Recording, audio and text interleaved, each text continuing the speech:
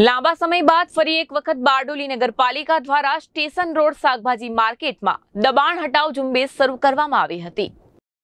બારડોલી નગરપાલિકા દ્વારા અગાઉ પણ ડોક્ટર દયારામ પટેલ માર્ગ ઉપરથી ગેરકાયદેસર દબાણ દૂર કર્યા બાદ લાંબા સમયના બ્રેક પછી આજ રોજ નગરપાલિકાની દબાણ સમિતિની ટીમ દ્વારા લીમડા ચોક વિસ્તારમાં આવેલી શાકભાજી માર્કેટમાં શાકભાજી વિક્રેતાઓ દ્વારા કરવામાં આવતું દબાણ દૂર કરવામાં આવ્યું હતું.